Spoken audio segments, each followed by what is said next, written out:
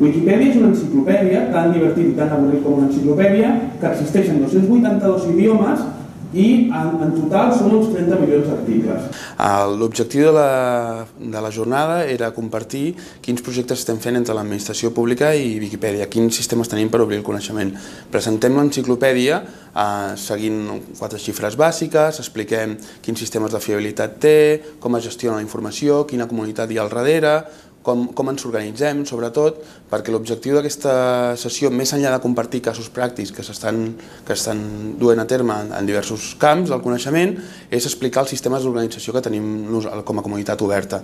Ens agradi o no, és la principal font d'accés al coneixement humà.